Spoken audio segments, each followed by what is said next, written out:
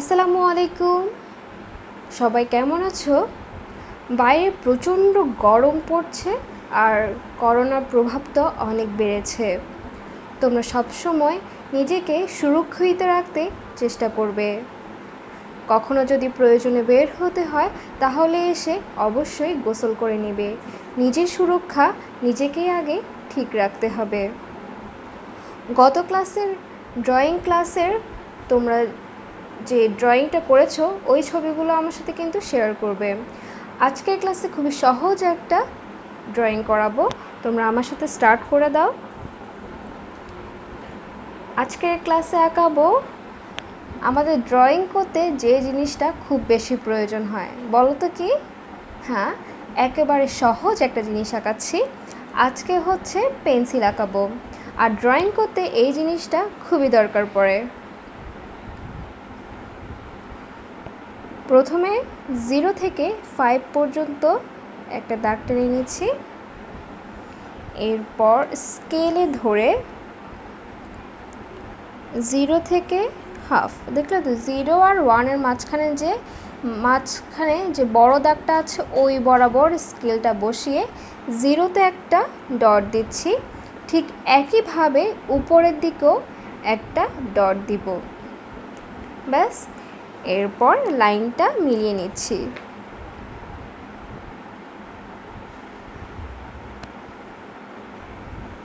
দেখলে তো, একদম সহজ না?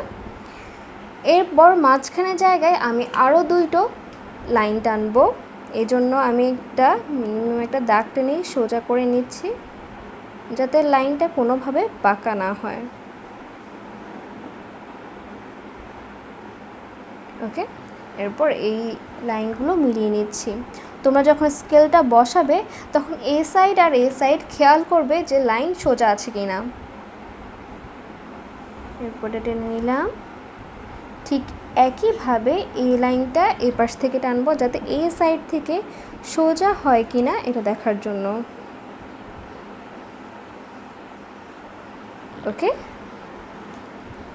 এরপরে এই জায়গাতে গোল করে দিচ্ছি। এই জায়গাতে দিচ্ছি। উপর থেকে এভাবে করে গোল করে টেনে নিলাম। আর এখানে আরও একবার ডাবল করে লাইন টেনে নিলাম। আর এই জায়গায় মাঝ বরাবর, ওয়ান বরাবর একটা ফোঁটা দিচ্ছি। এটা ম্যাচ করে নিব। আর এটা ম্যাচ করে নিব। ওকে, এরপর এই জায়গাটা একটু কালো করে নিব। ঠিক আছে, একদম ইজি এখন রং করে নিব। এই জায়গাগুলো দেখতেছো? একেবারে চিকন। তাই তোমরা চেষ্টা করবে এই টাইপের পেন্সিল রং বা ডায়মন্ড কালার দিয়ে করতে। একেবারে সাইড থেকে করে আসবে, যাতে রঙগুলো না বের হয়। আর রং বের হলে কিন্তু খুবই দেখতে খারাপ লাগে, অপরিচ্ছন্ন লাগে। এভাবে করে পুরোটা করে নিব। এই লাইনটা সহ দুইটা লাইনই করে আমি ফিরে আসছি। এই সাইডগুলো একটু সাবধানে করলে কিন্তু রঙটা একেবারে পারফেক্ট হবে। ছোট থেকে যদি ভালোভাবে প্র্যাকটিস করো বড়বেলায় কিন্তু কোনো সমস্যা হবে না। দেখলে তো আমি কীভাবে রং করছি, উপর থেকে নিচ করে কখনো এলোমেলো রং করবে না। তাহলে কিন্তু রং করার পরও বোঝা যায় তুমি লাইনটা কোন দিক থেকে টান দিয়েছ।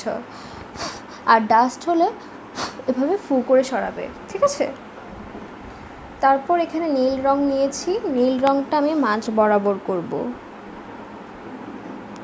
ঠিক একইভাবে উপর থেকে একই ধরনের লাইন টেনে করে আসবে, তাহলে দেখতে সুন্দর লাগবে আর এলোমেলো লাগবে না।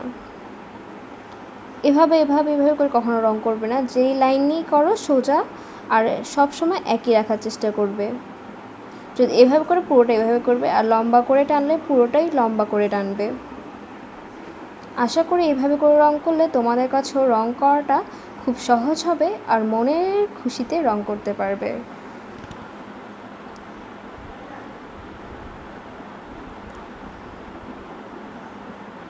কখনোই কোনো কিছুই কঠিন মনে করবে না।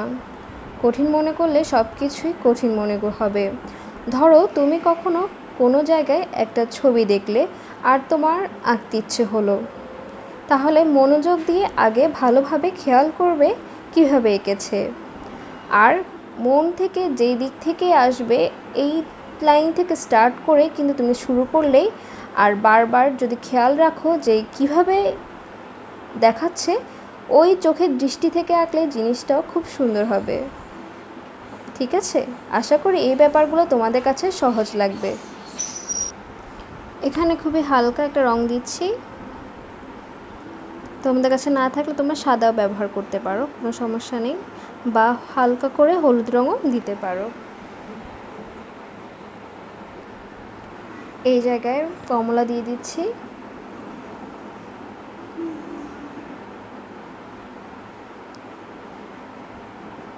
রঙগুলো তোমাদের পছন্দ মতো ব্যবহার করতে পারো। তোমাদের যেমন ভালো লাগে বা তোমার পছন্দের পেন্সিলটা যেই কালার তুমি ওই রঙটা দিয়ে কিন্তু পেন্সিলটা রং করতে পারো, ওভাবে আঁকতে পারো।